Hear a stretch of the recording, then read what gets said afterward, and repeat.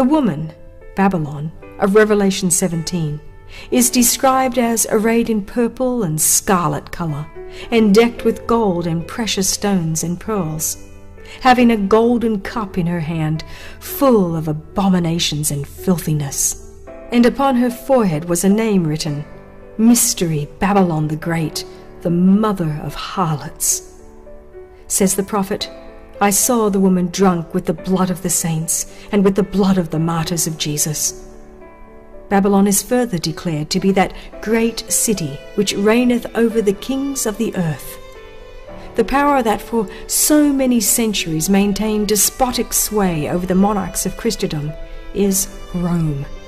The purple and scarlet color, the gold and precious stones and pearls vividly picture the magnificence and more than kingly pomp affected by the haughty see of Rome.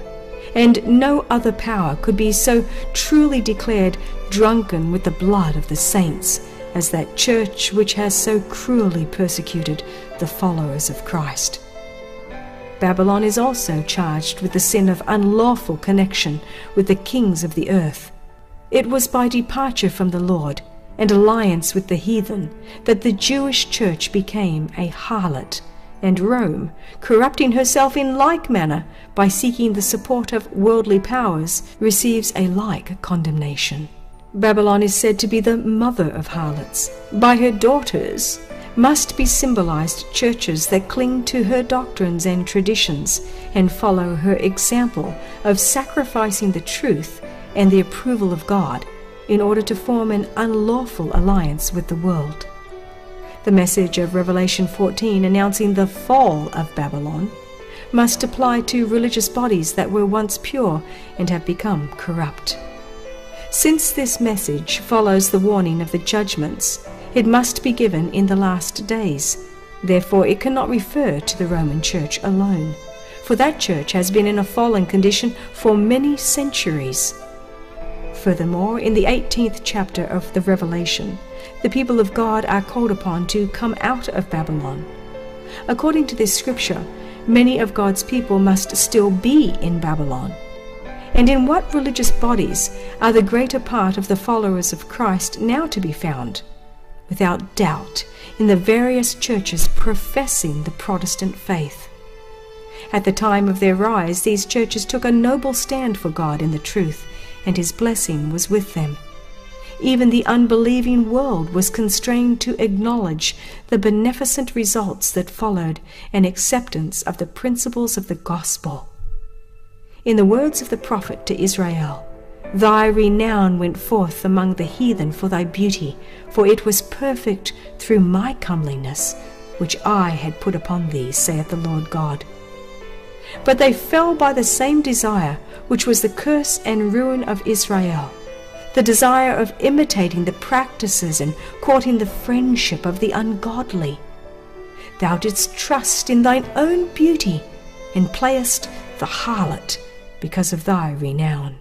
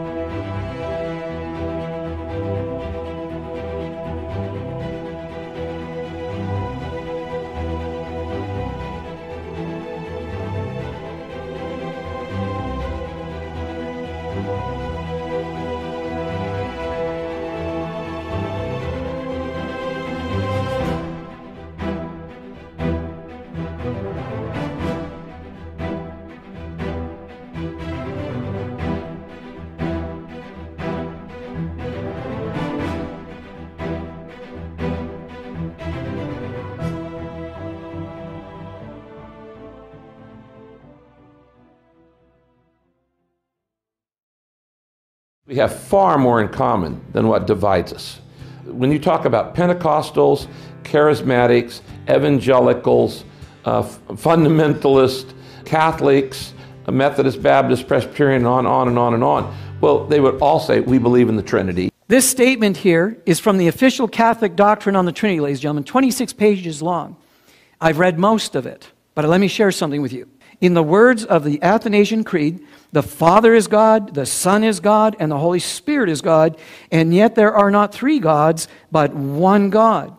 I can say to a, to a Catholic who's my neighbor, I can say to that Catholic, this is exactly what my church teaches and believes. We have the same perspective on this issue and this understanding of the Trinity. You might want to look into this. It's called the Trinity. If you go to Rose Publishing, it folds out like this. And, ladies and gentlemen, I've got to tell you something. For the most part, everything that I've read in here is exactly what we believe as Seventh day Adventist Christians. And this was produced by evangelical scholars on the, in the consideration of the Trinity. Now, Dr. R.C. Sproul, not of our religious faith, but a very brilliant mind and very highly respected in the evangelical world, made a very insightful statement. And, and, and, this absolutely blew me away when I first saw this statement and what he said here. And I think you're going to be surprised by what he's going to say here. When I found this statement, I said, I have to put this into the presentation. And this is what he said to his viewing audience. He said, The great issue we will face in the Christian faith over the next decades, both inside and outside the church, will be with respect to the issue of the deity of Christ and consequentially the doctrine of the Trinity. Now, ladies and gentlemen, this is coming from the outside. And here we see a brilliant theologian, not of our religious persuasion, identifying what he believes is going to be the next major issue to come against the Christian church. Now, you think about that for just a few minutes, ladies and gentlemen. There is a whole lot of understanding in this statement.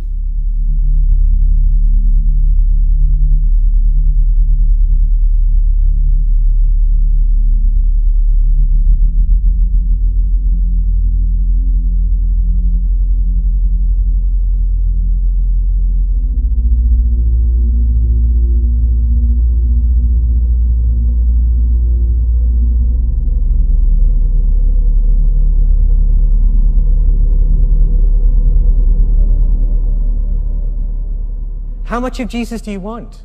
Do you only want one denomination of Jesus? Jump in, get it all. I don't think that there should be any subject in the scriptures that we believe doctrinally within the church that should cause us to come about and create dis, uh, an experience of dissension and disunity and cause us to come to the place where we don't want to fellowship and worship together anymore. We know that the first thousand years there was one church, it was called the Catholic Church. And the word Catholic means universal, it doesn't mean Roman. Catholic means, if you're born again, raise your hand if you're born again. You're a Catholic. Take back, redeem what belongs to you. We are Catholics. And then there was the split at the end of the first millennium. We had the Orthodox, East and West, two churches. Then 500 years later, we have Luther in his protest. Three churches in 1500 years. Three denominations, not three churches. And then, from Luther's protest onwards, 33,000 new denominations.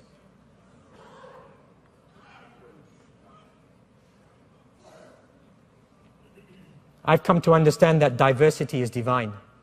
It's division that's diabolic.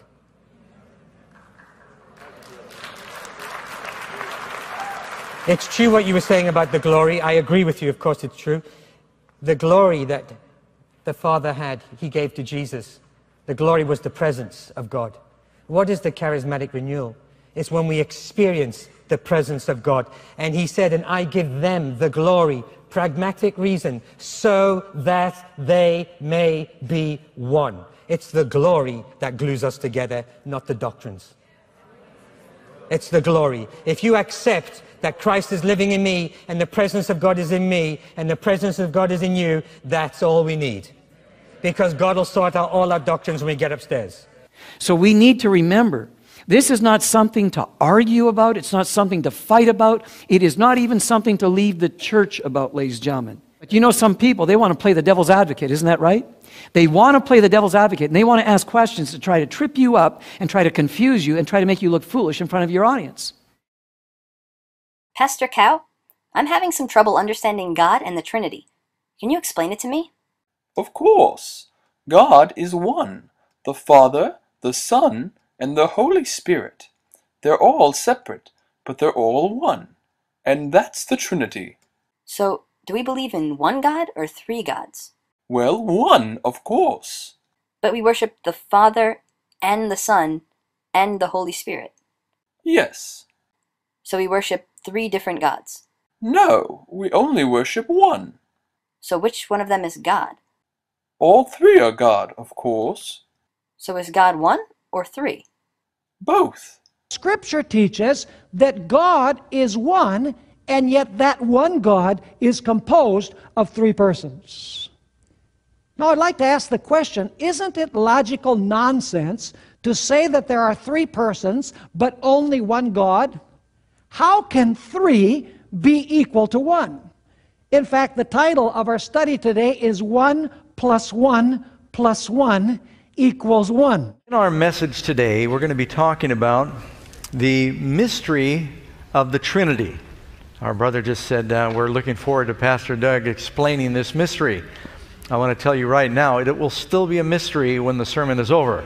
Uh, I would never, ever, even though I'm a minister of the gospel of Jesus Christ, I would never, ever claim that I can fully disclose the mystery of the, iniqui- of, of the Trinity. Hey, Reverend Fox, can you explain to me how God can be three and one at the same time? Well, it's like this, see? God is like an egg. An egg has a yolk, a white, and a shell. Three parts, one egg.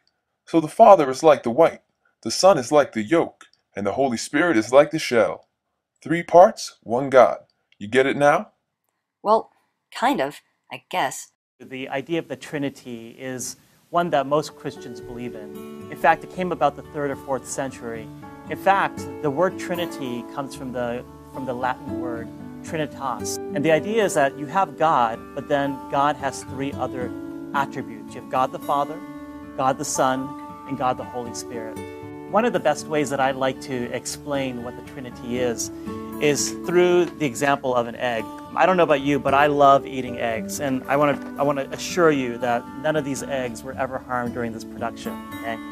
I have this egg in my hand, and when you take a look at the egg, it's an egg. But if you were to crack open an egg, there's a couple elements that you're going to find. One is that there is an egg yolk. There's what you call the egg white, and then there's a shell. There's three different parts to an egg, but yet it's still an egg. And that's kind of the same idea with the idea of who God is. Um, even though there is just one God, there are three attributes of God God the Father, the guy who lives up in heaven, God the Son, um, Jesus Christ, who came here on this earth to help people understand who God really is. And then you have God the Holy Spirit. Um, in fact, Jesus talks about the Holy Spirit right before he leaves from, from the earth and goes to heaven. And he says, Don't worry, don't be worried. I'm going to send you the Comforter, also called the Holy Spirit. There's three parts to God, but there's still just one God. So, wait, the Son is Jesus, right? That's right, young man. So, would Jesus be considered two third man and one third God? Oh, no, no, no. Jesus is fully man and fully God. So, Jesus is the Son, Yes, and the Son is fully God. that's right, 100% God. Uh, what about the Holy Spirit? Is the Holy Spirit 100% God? Absolutely, 100% God. And the Father? Well, of course, the Father is 100% God. But the white of an egg itself isn't 100% of an egg, and neither is a yolk or an eggshell. They are all parts of an egg, but individually, none of them is an egg. You're saying that the Father is 100% God, and the Son is 100% God, and the Holy Spirit is 100% God. That's 300%. 300% of an egg is three eggs. So wouldn't 300% of God be three gods? Well, maybe the egg wasn't the best example. See, God is like an apple. Father Turtle, can you help me? I'm really confused. I've always believed in only one God, but now I don't know what to believe. Let's look at the Bible for help. In Exodus, in the first of the Ten Commandments given to Moses and the Israelites, God says, I am the Lord your God, who brought you out of the land of Egypt, out of the house of slavery. You shall have no other gods besides me. But what about Jesus? Did Jesus teach the same thing? Why, of course, it has always been the same message. In the Gospel according to Mark, when Jesus was asked, of all the commandments, which is the most important? He said that the most important commandment was, Hear, O Israel, the Lord our God, the Lord is one. Love the Lord God with all of your heart, and with all of your soul, and with all of your mind, and with all of your strength. So, if God says that He is one, and Jesus says that God is one, why do we say that God is three in one? That's a very good question, my boy. To be honest, I've never really understood the Trinity. In the end, we must have faith, and the Trinity is a mystery of our faith that we simply must accept, even if it may seem confusing. In his book on page 250, uh, William G. T. Shedd in Dogmatic Theology, Volume 1 says, As he that denies this fundamental article of the Christian religion may lose his soul, so he that much strives to un- understand it may lose his wits. But why would God make it so hard to understand who He is? If understanding God is the most important part of our faith, why can't it just be simple? Most pagan religions are characterized by a belief that there are in existence many gods. This concept is known as polytheism. In contrast to ancient pagan religions, we have Judaism, which, at least after the Babylonian captivity, taught a staunch monotheism.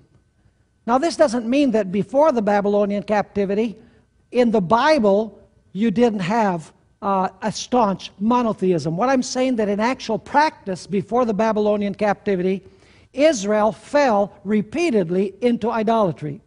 Obviously, the Bible teaches monotheism from the times of Moses on.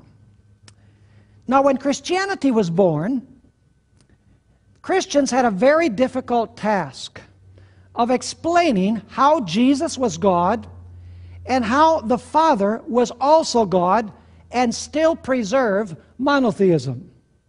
The problem became even more complicated when uh, Christians began teaching that the Holy Spirit is God as well. Of course, the obvious question is if the Father is God, and the Son is God, and the Holy Spirit is God, do we not then have three gods? Do we not have polytheism, the idea that there is more than one God or multiple gods? Is this not blasphemy? Is this not paganism in the highest sense of the word? You should talk to Mr. Owl. He knows how to take a complicated question and explain it simply. Mr. Owl, I really need your help. I've been trying to understand the concept of the triune God, but it's so confusing. The first commandment says that God is one, and Jesus says the same thing, but the Trinity makes it sound like there are three gods. So, which is it, Mr. Owl? Does believing in the Trinity mean that God is one, or that God is three? A good question. Let's find out. One, two, three, three.